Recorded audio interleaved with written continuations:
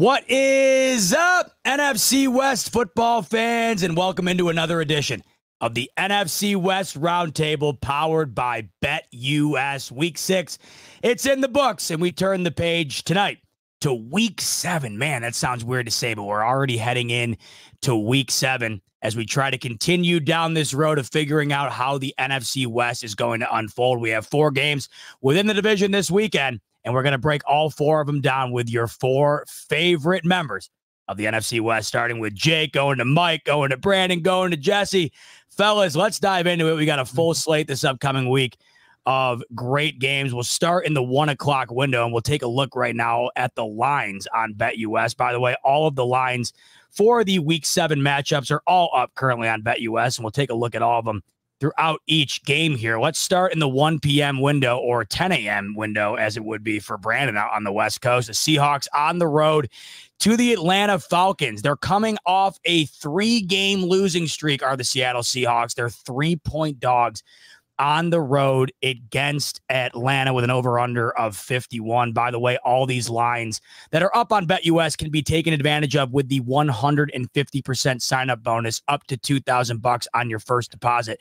Just use the promo code YouTube 150. That'll also get you a 125% bonus on your next two deposits after that. So, Seahawks are a three point road dog uh, against the Atlanta Falcons in week seven. I'm going to start with Jake here. Jake, Seahawks start at 3 and 0. Blink, they're 3 and 3. Can they get back on track against Kirk Cousins and the Falcons?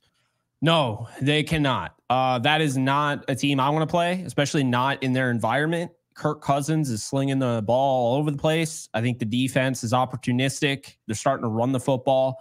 Um, just been really impressed with the receiving ability of Drake London. I think his maturation has really taken off. And I just think it's a horrible matchup and the exact opposite of what you would want coming off that 49ers loss. The good news for Seattle, they do have that mini bye. I just don't think it's going to matter in the long run. Ultimately, final score, you thinking easy one for the Falcons or Seahawks kind of keep it tight?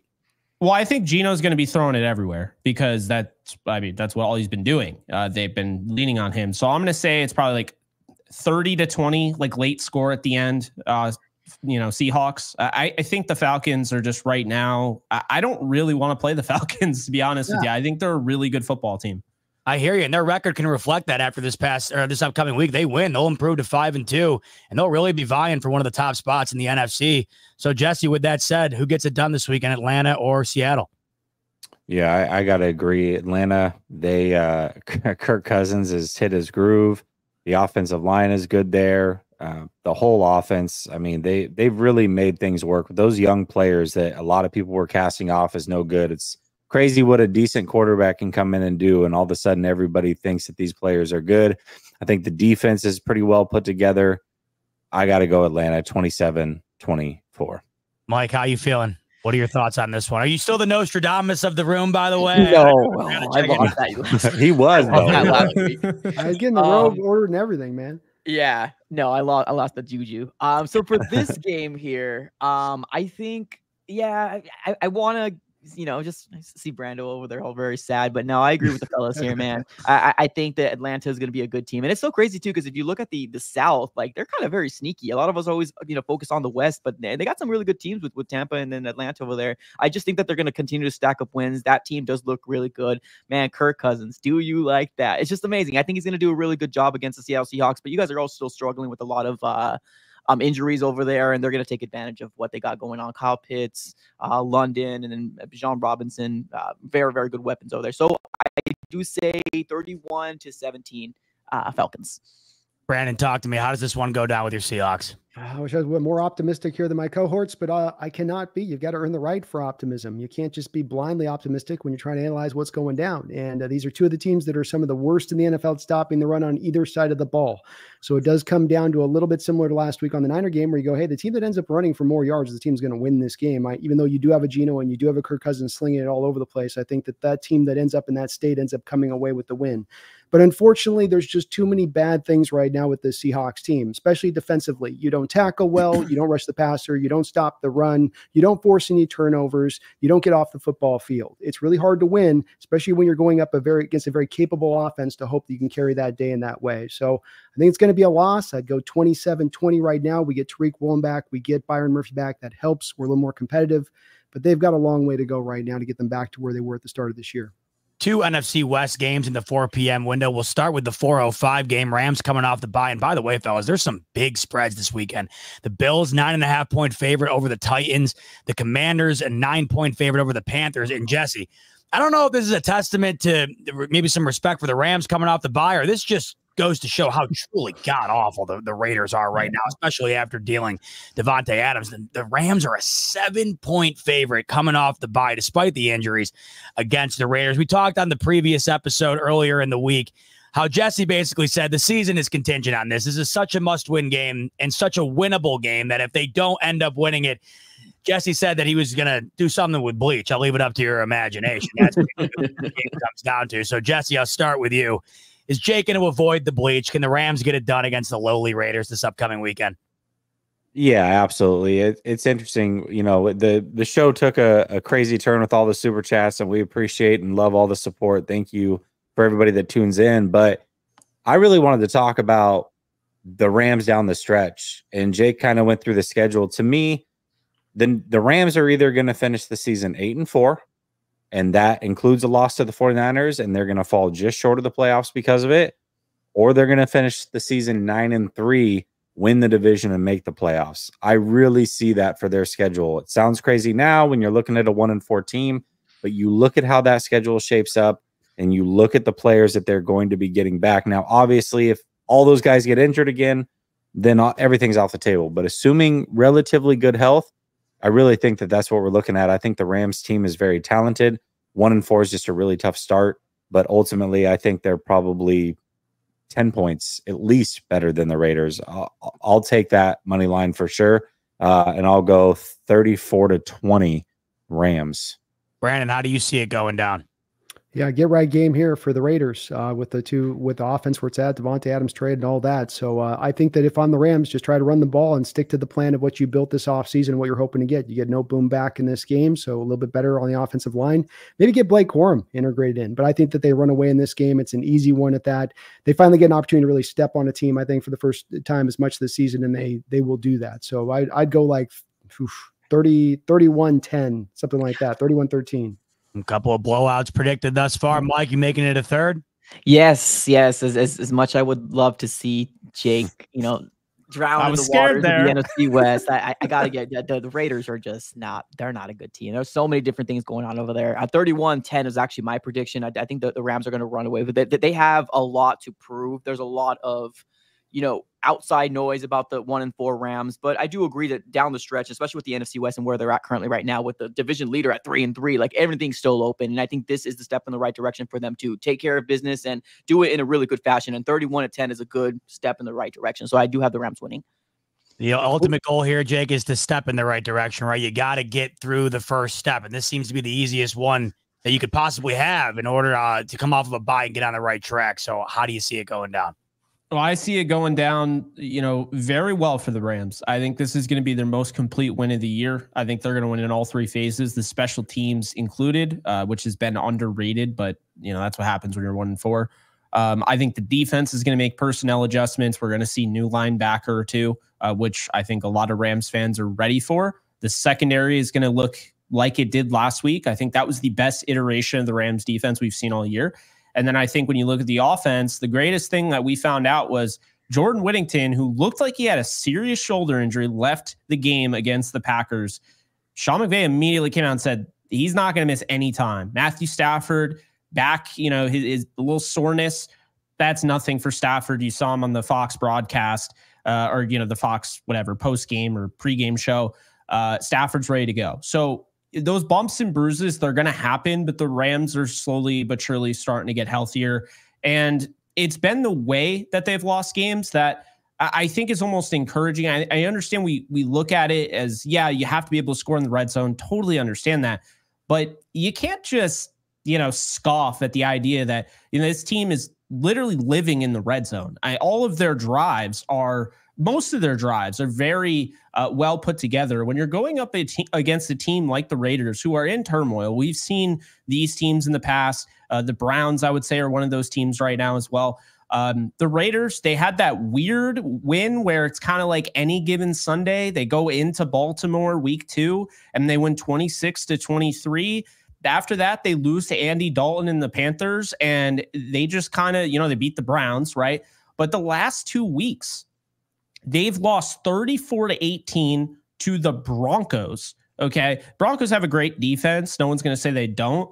But Bo Nix, I'm not a Bo Nix believer at all. And that offense just gave them fits. And the Steelers, we all know the Steelers have an elite defense, but the Steelers can't score. Uh, and they scored 32. So I think this is an awful matchup for the Raiders. I think the Rams are a lot better than both of those teams I just listed, the Steelers and Broncos. They don't have an elite defense, but I think this is a little bit of a breather for them. The defense has struggled a bit, but also not give enough credit for what they do at the end of games, getting big stops when needed. They had to have a couple of them against the 49ers as well, which isn't talked about. So I think in this one, guys, I'm going to go with 34 13. I think it's fair. I, I'm going to say that, like, I know people are going to say, oh, the Raiders are trash. How are you giving them points? Well, it's the NFL. They'll find a way to score. The Rams also have issues on the defense. I'm not ignorant to the fact that they don't. Um, but I think whoever starts, whether it's Minshew or Aidan O'Connell, I don't really care because the Raiders can't stop the run. The Raiders can't stop. They see the Rams struggle to score in the red zone. Raiders can't stop teams in the red zone. So this is a perfect team to face you know, we always hear it all the time, and it's at this point so cliche and corny, but get right game.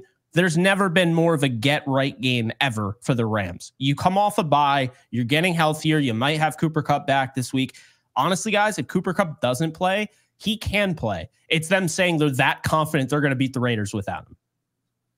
Ooh, baby. Let's go 20 minutes down the line from that game to the game of the day. Super Bowl rematch from a year ago. The Chiefs on the road to San Francisco to take on the 49ers. The Niners, three and three, are a one point favorite against the undefeated Kansas City Chiefs. I cannot wait for this game. By far the best game of the day. And it, once again, it, it, gives the Chiefs an opportunity to lose, and they just never seem to uh, take advantage of that opportunity. They do the opposite. The opportunity I wanted to take advantage of, they don't. They win every single week, somehow, some way. The question is, do they find a way to win this week? Mike, I'll start with you. Chiefs, Niners, Super Bowl rematch. It's in San Fran. Who gets it done?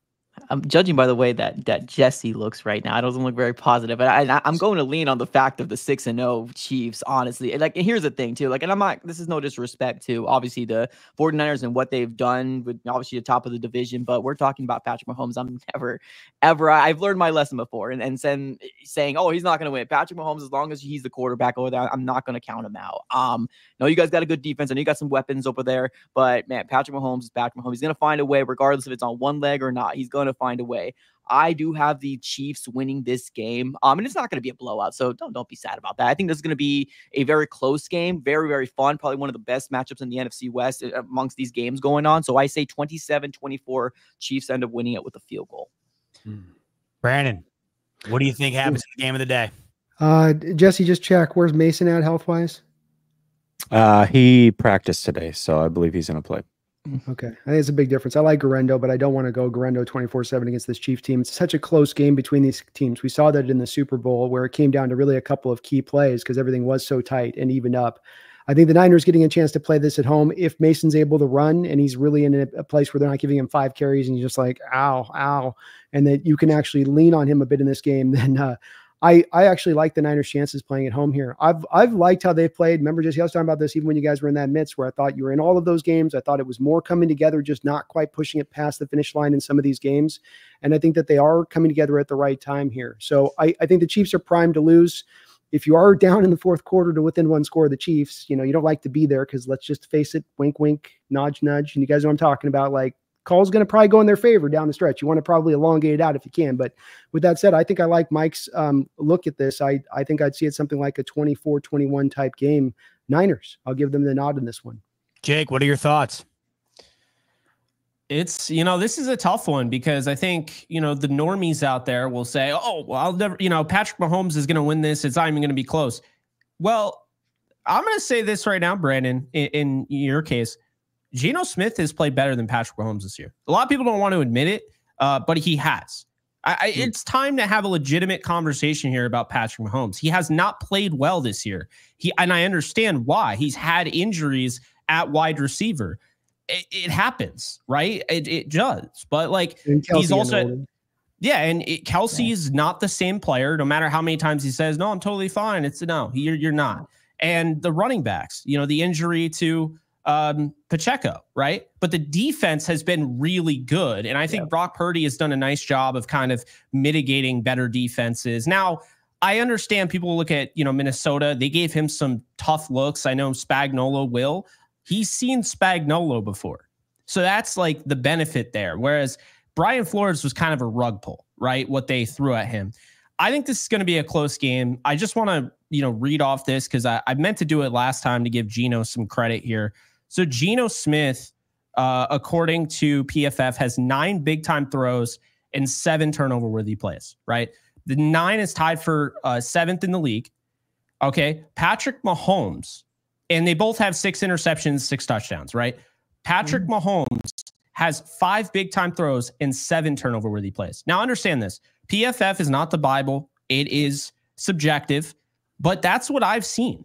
I've seen a quarterback that has not played his best football. So, is he going to play his best football on the road in San Francisco? I don't think so, but I think the defense is going to get a couple stops down the stretch and I think they're going to eke this one out in a 24 20 ugly win. One thing to note the Chiefs are coming off a bye. Andy Reid, 21 and 4 in his career off of the bye. Jesse, mm. let me know how it goes down this upcoming Sunday.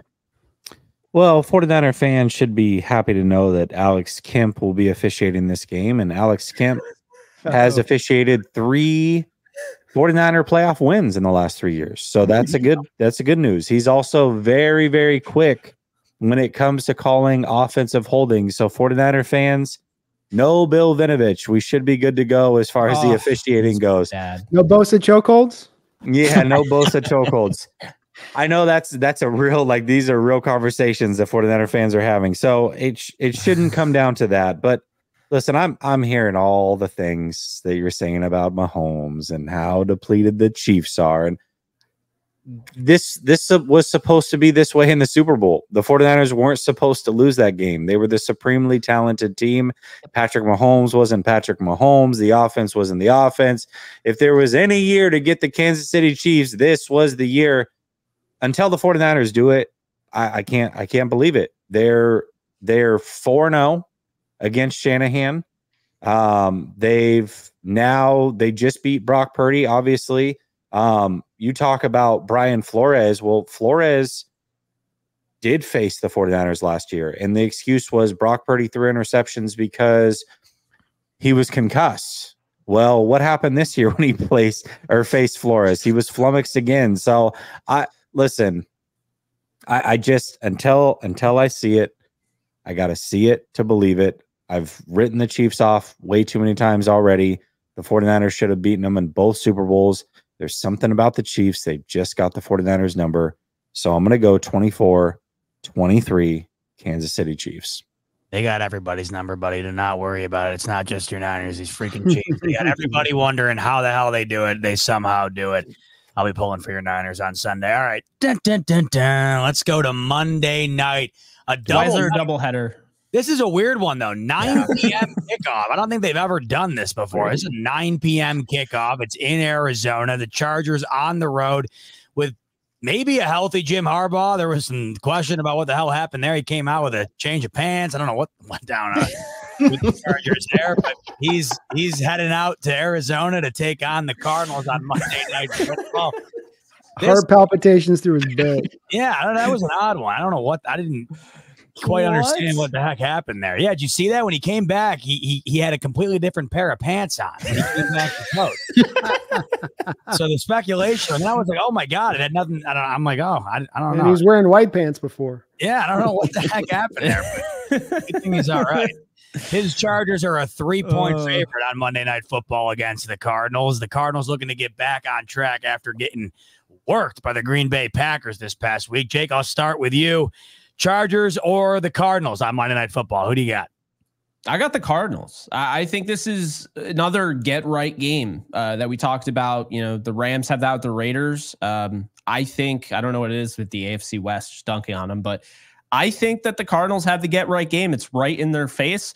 The Rams are at home. The Cardinals are at home, and I understand the Cardinals are one and two at home, but I've seen the Cardinals' best football played at home, and I think that the Chargers are kind of one of those teams that you see it. They just kind of get through they're three and two. They don't really. They're just kind of there. Like no one looks at the Chargers are like, yeah, that's a contender right now. Justin Herbert's not playing inspiring football for whatever reason. They traded away Keenan Allen before the season to hurt their, uh, you know, offensive uh, production. J.K. Dobbins has been like kind of the big thing there. I think has been, you know, really good for them. But I just think that the Cardinals are the better team. And I don't know how they're going to be able to stop Kyler Murray because I'll tell you right now, if the Cardinals were coming off an inspiring win on the road against the Packers, they'd be prime for a letdown in prime time. They absolutely would. But I just don't see it. When you get the crap kicked out of you like that, and you're a talented football team that should probably have more wins than you do, I'm not taking the Chargers. Uh, the Chargers had beaten the Raiders, Panthers, and Broncos as their three wins. This is what we talk about, where not everybody plays a one size fits all schedule. And so you end up with teams that are three and two because, yeah, you play what's on your schedule. But uh, like early on in the season, I mean, you get to play two of the worst teams in the league. You played the Panthers before they switched to Andy Dalton. So that was like the worst Panthers team you could have possibly played. So, yeah, I'm not high on the Chargers. I'm going to take the Cardinals here. Uh, and I think they score a lot. I- am going to say they they score 33, and I'm going to say the Chargers kind of been hovering around that 17 to 20. I'll, I'll give them 17 points. So 33 17. I think the Cardinals blow out the Chargers in prime time. So quite literally the absolute reverse of what last week was, almost to the exact point total the, against the Packers. That's what you got this upcoming week. Interesting, Jesse. How do you see this game going down? I I don't see it like that at all. I listen, I I've I have watched the team in the San Francisco 49ers be coached by Harbaugh and Greg Roman. I know exactly what they're trying to do and it works. Um, they have a recipe for success. Yeah, they their three wins are not against great teams. However, they were also very very close with the Chiefs and very close with the Pittsburgh Steelers as well. And both of those were when Herbert had a high ankle sprain. I don't even know why he was hmm. playing in those games, but he was. Um, the I, I just don't see a path for them to be able to score 33 points because the Chargers will probably have the ball for 40 minutes of boring three yards and a cloud of dust football, and they'll win sorry, 20 Mike. to 17 because this is just what they do. I mean, this is the brand of football they want to play. And that's the brand of football they will be able to play in this game. I'm going to go 2017 Chargers. Brandon, what do you think? Pretty aligned along where Jesse is on this one. I've Harbaugh was the guy that I wanted in this offseason for my Seahawks as a number one target. Uh, just as far as I thought it would also be just funny for the Niner rivalry, but I liked him a lot as a coach because I trust, like Jesse talked about him, his ability to uh, come in and do what he does. Everywhere that guy goes, he wins. And he has a, a style that people don't like because it ain't fancy and it ain't gonna you know make fans fall over themselves from an offensive performance standpoint. But it wins ball games, and that defense is playing well. Big part of this is contingent on Bosa coming back this year. I think they need his help for that defense to run right with Mack on the other side. But I just think that it's going to be tough sledding for the Cardinals because they're going to deal with the same kind of game plan that the Lions unveiled on them. And fortunately, when you go after this Cardinal team and you have the means to go downhill against them in the run game, I should know you can do it against my team right now as well. There's not a whole hell of a lot you can do to stop them. And they're going to stay committed to it. They're not going to leave that running a game. And I just think that they'll control the clock and keep Kyler off the field. I think 2017 is probably right around where I'd be on the same point as far as the score goes. Mike, let's hear it, baby. You're rounding out week seven for us. You're rounding out the show here. What ends up happening? Just want to say thank you, Jake, for giving me a little hope. Uh, no, but but but I see He it gave the you a lot of hope, by the way. Jake thinks Yeah, you guys can I roll. know, but it kind of went away with, with my guys down here. But no, I I, I agree with, with my guys down here. Honestly, like the, the the thing is that obviously when it when it comes down to this Arizona Cardinal offense, it's been a, a big struggle in terms of being consistent. We're, we're just not consistent, and, and and I think that you know keeping Kyler Murray on the field, you know that's that's a good thing. But also too, like the Arizona Cardinals offense is going to do a job in doing that because we've just been seeing three and out, three and out, three and out, and it's just it's very frustrating.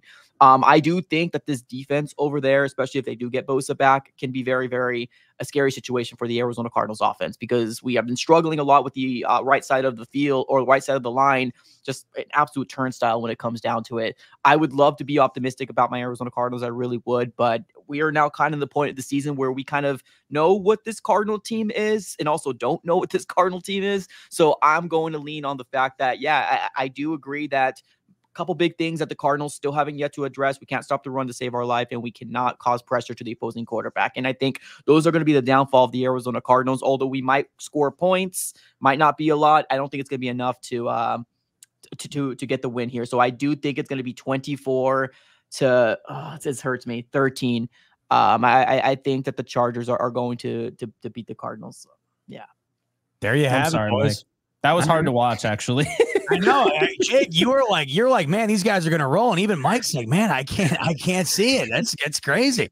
Yeah. Jake Well, might be the new czar, though. Jay, if Jake gets Well, this right, yeah. man, we're gonna have to turn it over to him as knowing. Yep. Somebody they went to satisfies you. Buffalo. They went to Buffalo, put 28 up on the Bills. I think the Bills have a really good defense. They put 41 up on the Rams. The Rams defense is that good, but still 41. That doesn't happen. They don't lose like that ever.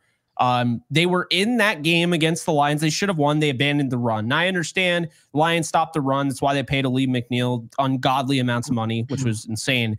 Um, but that's why because they stopped the run. Still, though, the Cardinals were running the football well, and they should have continued. They only ran like five times. With, like their leading rusher had five carries against the Packers. They let that Yep. get out of hand. They need to have more of a balanced Yeah. approach. And the 100%. thing that I think leads to that is you look at the Commanders' loss, right?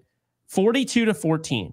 What happened the next week? They got up, they got prepared, they beat the 49ers on the road.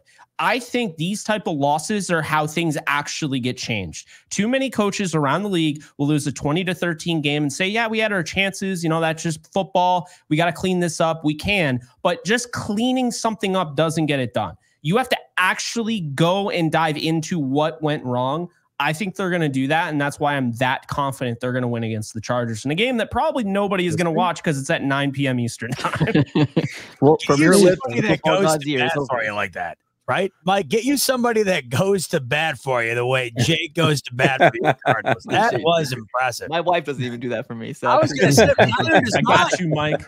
Mine just tells me the Bills suck whenever they lose. I never get any. I never get any positive affirmations. That's incredible work right there. I need some more of that in my life. Uh, we appreciate you tuning in as always, folks. Much love to you for tuning in on the NFC West Roundtable tonight. On the way out the door, if you could, like button and subscribe button. You want to make sure to hit that because we will be recapping all of the games we just previewed next week, and we'd love to have you in for that one as well. And then on your way out the door. YouTube 150 is the promo code on BetUS. That'll get you 150% sign up bonus up to 2000 bucks on your first deposit and 125% bonus on your next two deposits after that. For Jake, Mike, Brandon, and Jesse, I'm your host, Zbot. Thanks so much for tuning in to the NFC West Roundtable, and we'll see you on the next one.